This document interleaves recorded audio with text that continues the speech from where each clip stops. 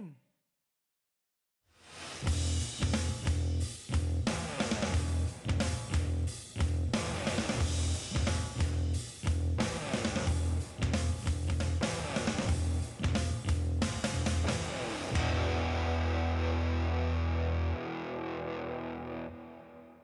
Assalamualaikum, selamat pagi semua. Wah, semangat Izzah, cantik cantik. Okey, pakai itu pun okey, baju semua lengkap, kasut lengkap, cantik. Ah, Izwani, Izwani. Ini siapa yang pakai bulu mata macam ni? Izwani tak boleh tahu pakai macam ni, nanti buang semua tu alat sulit ha. Ha, cantik cantik. Uh, lengkap lengkap macam cikgu lah kan, macam cikgu lah. Ha. Mesti anda semua tahu kan, siapakah guru yang akan mengajar kita untuk unit badan beruniform kali ini? Tahu siapa? Jom tengok program guru hari ini. Buat make up tu tau.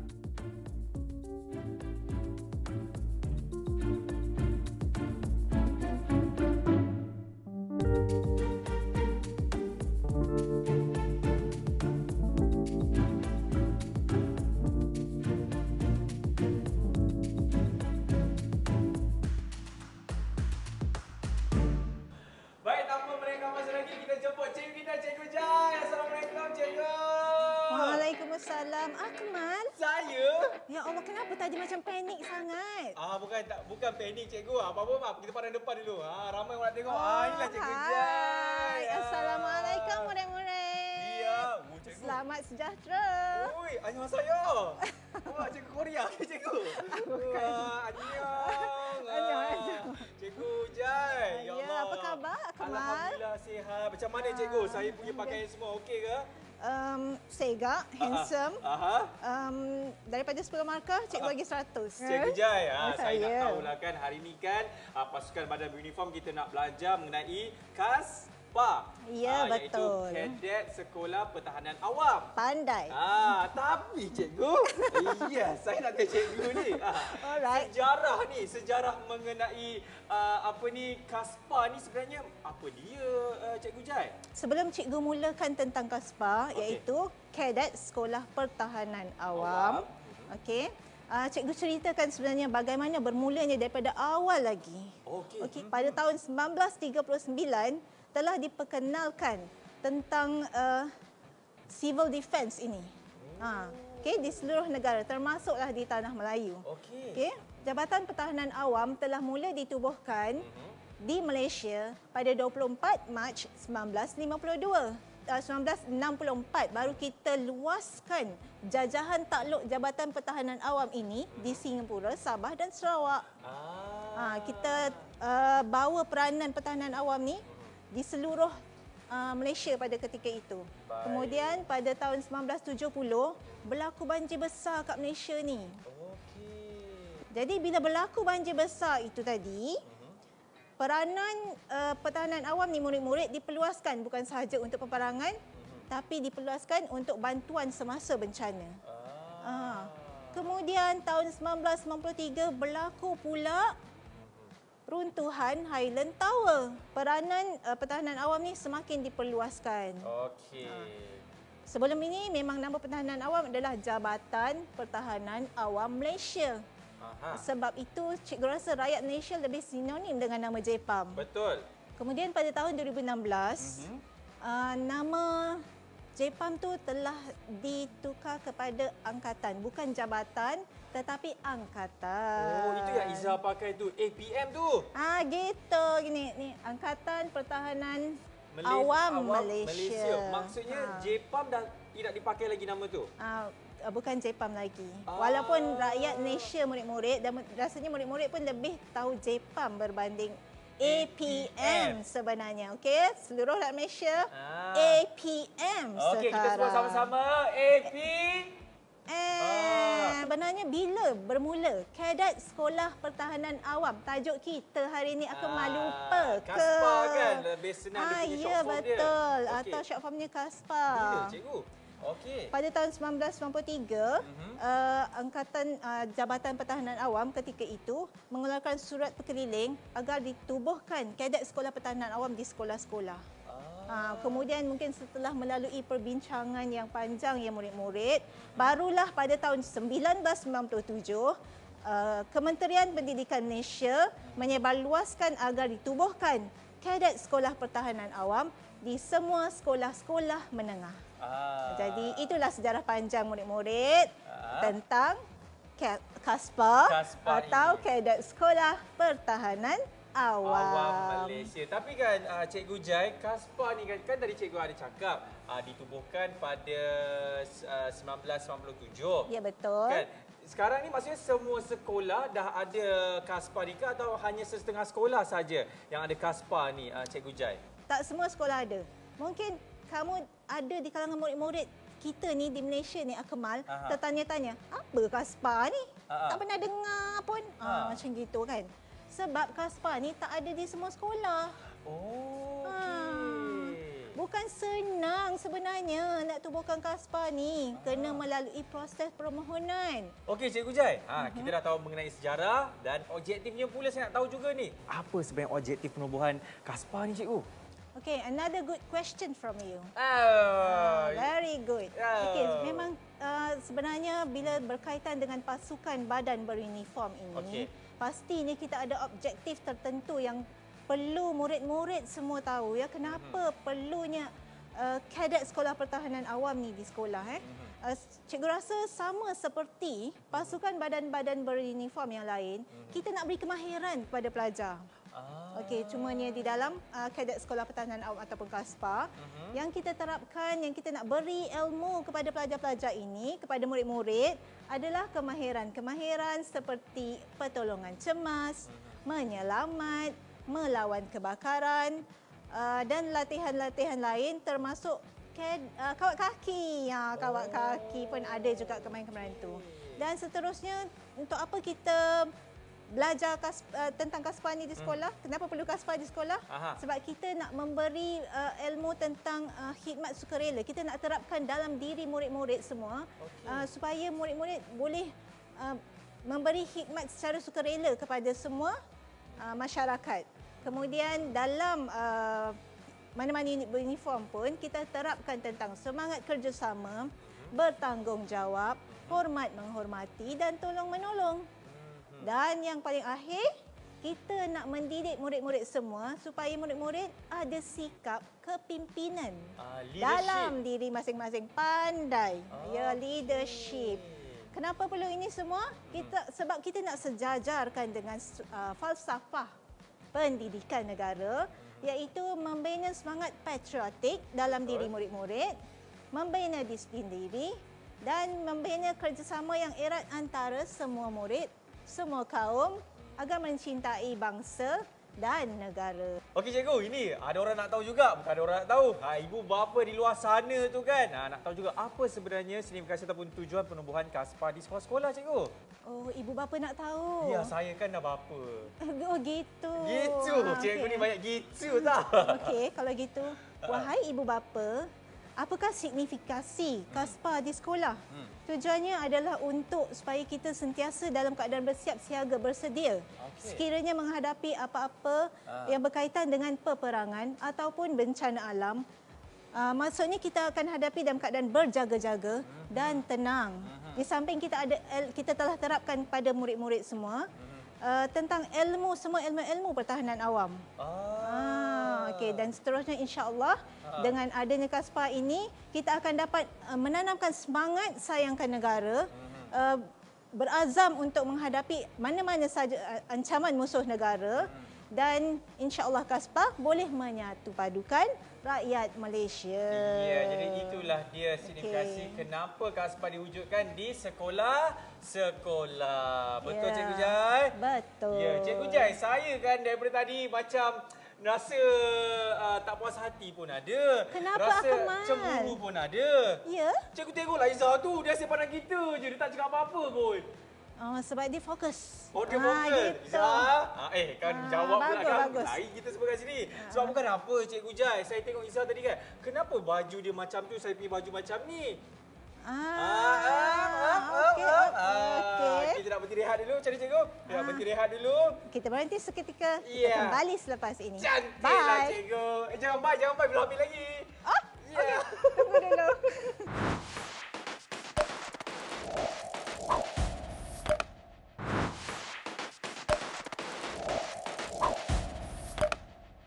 Alhamdulillah masih lagi menyaksikan Kokurikulum bersama dengan saya Akmal Nazri dan juga Cikgu Jai. Ya, dan juga kita ada Izaha dan juga Izwani. Sihat semua eh? Alhamdulillah. Alhamdulillah. Senang diorang kan? Senang. Di tegak je kat Ha. belakang tu. Hmm, ah, itulah macam tadi uh, Cikgu Jai saya nak tanyalah mengenai pakaian seragam Kaspa dan APM ni.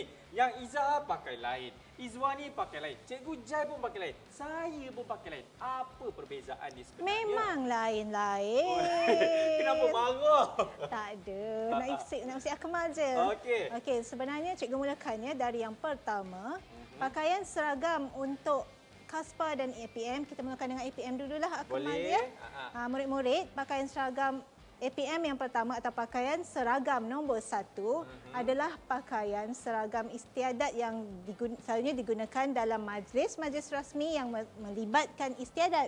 Oh. Ha, pakaian seragam nombor dua adalah yang cikgu pakai ni. Ah, cikgu angkat tangan sikit cikgu. Sini. Aha.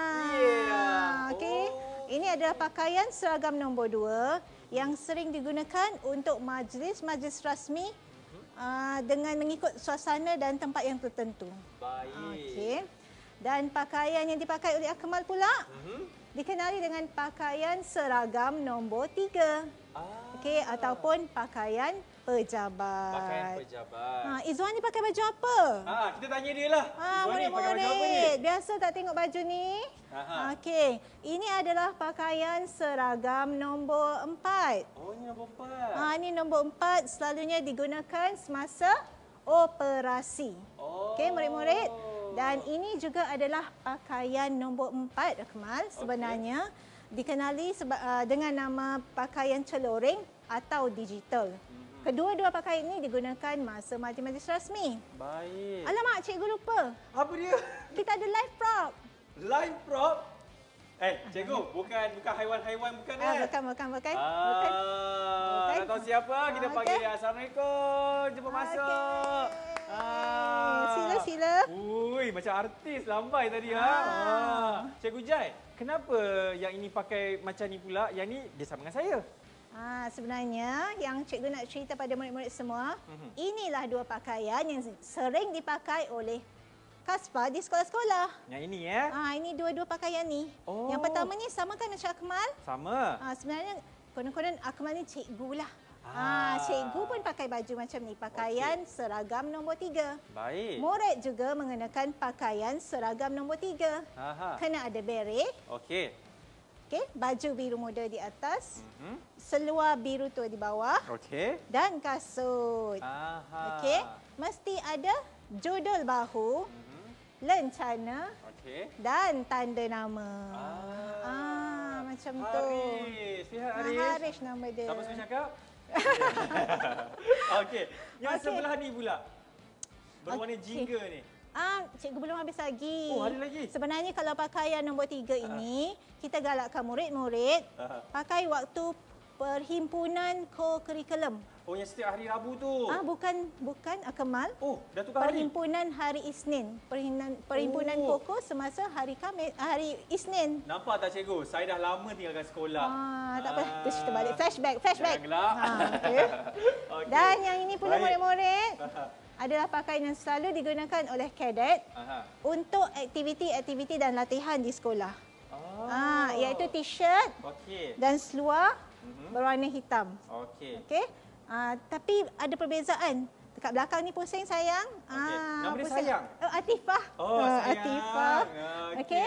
Ah, berbeza dengan ah, Angkatan Pertahanan Awam. Di belakang ni ada tertulis Kadet Pertahanan Awam. Ataupun Kaspa lah kan? Ataupun Kaspa. Terima kasih. Ah, Siapa suruh pusing sayang? uh, Okey, jadi itu dia Cikgu Ha, Jan. itu berkaitan dengan baju-baju yang ada dalam APM dan Kaspa. Okey, terima kasih Haris dan Terima juga kasih. sayang. Okey. Baik-baik. Eh, eh, ah, kena jatuh tu. Ya Allah. Hati-hati, okey sayang.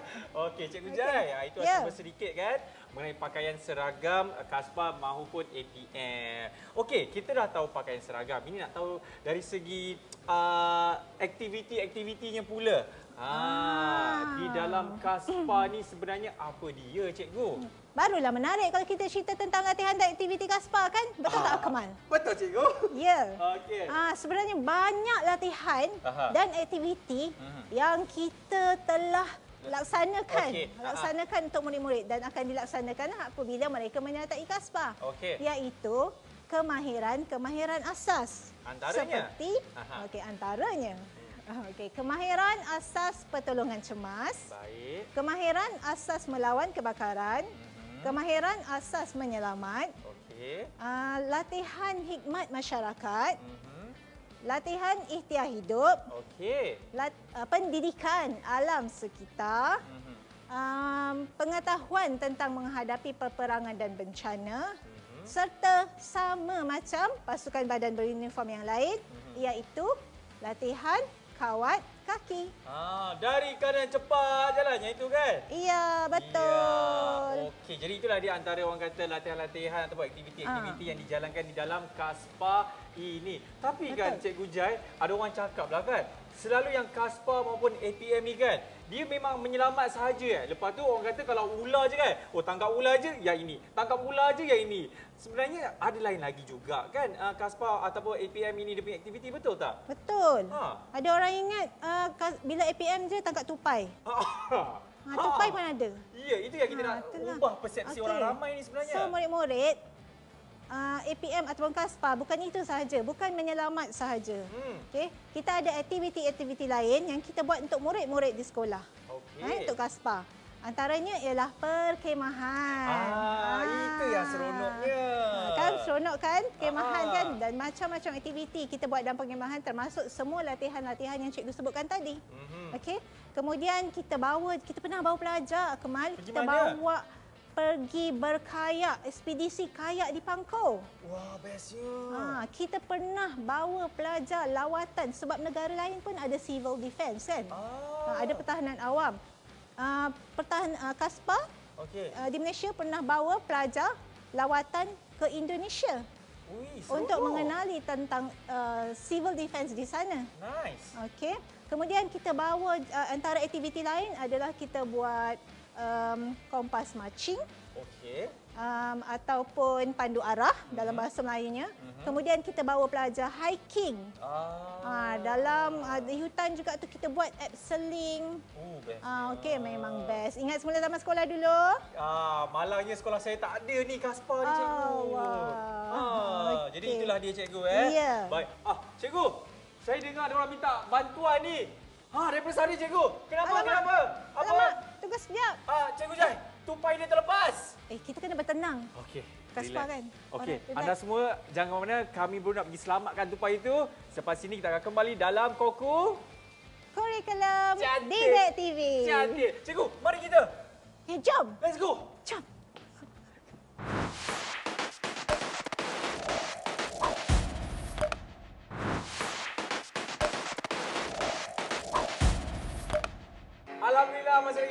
Menyaksikan badan beruniform. Cikgu Jai terbaiklah kita dapat selamatkan tupai tu kan. Alhamdulillah. Alhamdulillah. Cikgu, nak tahu Ya? juga apa faedah kaspa ni sebenarnya?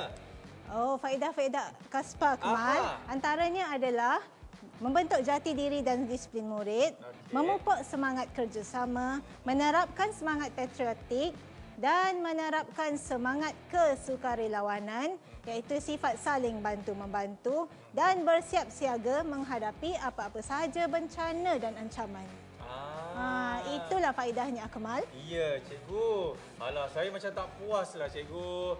Katanya kita dah nak habis dah, cikgu. Yelah, tadi kan kita dah belajar macam-macam kan. Dari segi pengenalan, sejarahnya, pakaian seragam, faedah yang sebentar tadi. Jadi, Cikgu Jai, mungkin Cikgu Jai boleh berikan rumusan secara ringkas tapi padat ha, mengenai apa yang kita dah belajar untuk episod kali ini. Silakan, Cikgu Jai. Baiklah, insya-Allah sebenarnya dengan mengetahui kaswa apa orang kata pernah tak dengar? Hmm. Tak kenal, Maka, tak cinta Cikgu Jai. Ah, pandai. Jadi diharapkan apabila semua murid-murid Mhm. dan guru-guru mengenali apa itu kadet sekolah pertahanan awam, Mhm. diharapkan sekolah-sekolah yang masih belum ada kasbah, silalah memohon kita ramaikan lagi sekolah yang menyertai kadet sekolah pertahanan awam ini. Yes. Kerana. Sejajar dengan au cikgu lupa nak cakap lah Apa ni, Cikgu? Tahun ni sebenarnya Aha. adalah hari ulang tahun pertahanan awam. 2022 ni. Iya. Happy birthday to Kaspa. Alhamdulillah. Alhamdulillah. Eh, happy Okey. birthday to APM juga sebenarnya Ya, kan? APM lah bukan Kaspa Ah, lah. happy birthday to APM. APM yang ke-70 tahun mencapai dekad platinum. Alhamdulillah. Ah, kita dapat melatih rakyat sepanjang masa ini insyaAllah dengan sifat-sifat kesukarelawanan Aha. dan semua um, perkara yang berkaitan dengan siap siaga menghadapi bencana dan peperangan Mhm. uh, untuk semua bermula sejak dari bangku sekolah lagi. Insya Allah. Tapi kan uh, cikgu lah sebelum kita nak tutup ni lah kan, nak tanya lah kan. Macam saya contohlah baru masuk sekolah ni. Ha, tengah pilih hmm, mana satu badan uniform saya nak masuk ni kan cikgu kan. Okey. Ah, sebenarnya ada tak orang kata oh kalau nak masuk kaspa ni oh dia kena tinggi je. Uh, orang dah tak boleh. Lepas tu dia kena yang kacak-kacak je. Uh, lepas tu nak kena yang cantik-cantik je. Uh, mungkin cikgu boleh kongsikan juga sebenarnya kaspa ini dia tak ada pun orang kata uh, had-had sebegitu rupa. Semua orang Ya. boleh join. Mungkin cikgu boleh kongsikan ju- uh, juga nak ya, masuk betul, kaspa ni. Tidak, tidak, tidak. Mhm. Tak ada syarat yang tetap. Ha. Ha, tak mestinya tinggi. Dia Hmm. bukannya macam nak jadi pilot. Bukan Ya. nak jadi juruterbang. Ah. Yang murid-murid, sesiapa saja boleh menyertai kadet Sekolah Pertahanan Awam. Mhm. Yang penting, mempunyai semangat-semangat yang kita sebutkan tadi lah. Itu yang kita nak. Ha, okey. Ah, lepas tu tak kisah pakai cermin mata ke, tak pakai cermin Tak mata kisah. ke. Ah, yang penting tak ada semangat syarat. jati diri kena kuat. Ya. Lepas tu juga semangat patriotik juga kan cikgu? Ya, untuk menyertai. Uh, Kas- pasukan badan beruniform ini iaitu ya, Kaspa. Kaspa. Cikgu, dengan kata Kaspa dia ada lagu betul ke? Ah, ah. Ah, ah. Cikgu nyanyi sikit tak cikgu? Ah, Okey, mula-mula eh. Ah, mula-mula. Lepas tu aku sambung boleh? saya cubalah cikgu. Ah, nampak abang Abang dah tutup telinga dah. Ah. Okey, sa- boleh boleh ke cikgu? InsyaAllah. Okey, satu, dua, tiga. Marilah kita semua Mari, marilah kita semua. Okey. berganding bahu menggembeng tenaga. Ah. Berbakti dalam pertahanan awam untuk bangsa kita. Ya, itu dia. Terima kasih banyak-banyak kepada Cikgu Jai. Terima kasih juga diucapkan kepada Izwan. Izwan siapa? Izhar. Terima kasih, juga. Izwani. Okey, Izwani. Ah, yang telah setia bersama dengan kita ni kan Cikgu Kan? kan. Thank you, murid-murid. Diharapkan murid-murid di rumah dah faham dah ha, mengenai Kaspa ini kan. Cikgu Ya. Jai pernah terangkan dari segi sejarah, pakaian seragam dan sebenarnya nak masuk Kaspa ni tak kisahlah yang pakai cermin mata boleh, tak pakai cermin mata Boleh. boleh. Yang penting semangat jati diri kena Kuat. Yes, baiklah insyaAllah katanya untuk episod yang akan datang ni Cikgu Jai kata akan uh, melatih saya untuk kita nak menangkap ular. Betul ke Cikgu Jai? Mungkin? Ha, ha, kalau nak tahu, wah, kenapa macam ni cikgu? Macam inspektor kan? Ya. Ya, kalau nak tahu, kita akan jumpa lagi di episod seterusnya dalam Badan Beruniform Didik TV KP. Eh. Bye, Assalamualaikum. Bye, jumpa lagi.